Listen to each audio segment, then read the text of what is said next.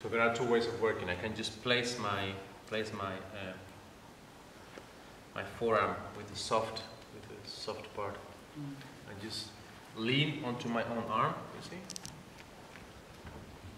I'm just leaning onto. So my body weight is here. No force. Body weight. Okay.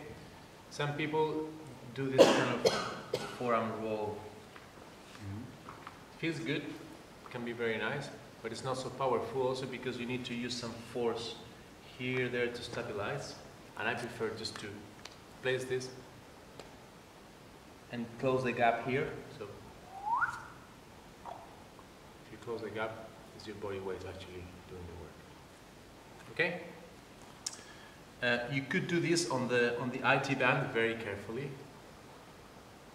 That can be kind of, kind of strong. Uh, that can be quite strong. IT band, tibial. something iliotibial, yeah. Le tract iliotibial, no? On va chercher. Uh, you can do that on the biceps femoris here, on the muscle here, which is a bit more tricky, but maybe if I lift this, I can also work on the, the biceps femoris. This is very powerful too. And many people have a lot of tension here on the biceps femoris. This is this muscle here. Hmm? So I can place the soft part and just lean on it. But now, this is just for you to see. Now we don't have time to explore all this so much. Maybe in the future you can. I want you to work here on the boomerang, we call it. We call it boomerang because see the bone here? There's a bone. You have it there? It's part of the femur. Eh, It's the greater trochanter Yeah, you know what I'm talking about? Okay, so the femur comes here, there's a greater trochanter, and then the femur bends and goes into the hip joint, but now we can't touch it anymore. Le col du fémur. Le grand quoi? Le col Col. du fémur. Le- Col. Col, col, Col. Il cuello del Oh, fémur. no, no, no, le col de fémur, uh, this is the greater trochanter, and then the... Grand trochanter. Yeah, you cannot touch the, the neck of the femur, the excusez-moi. femur's deeper. Ok. Anyway, so you see, all around this, there are muscles Ça y est, attaching. Guys, all around this there are muscles attaching, eh?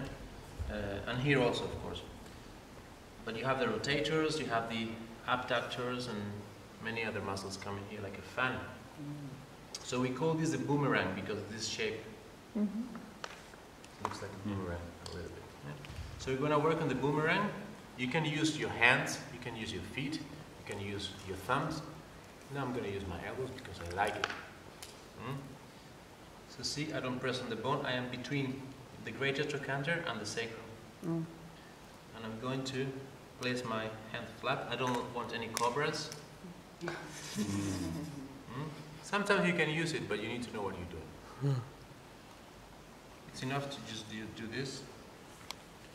See, I go up and I lean on my arm maybe I need to change my position a little bit to feel more comfortable. Feel more comfortable.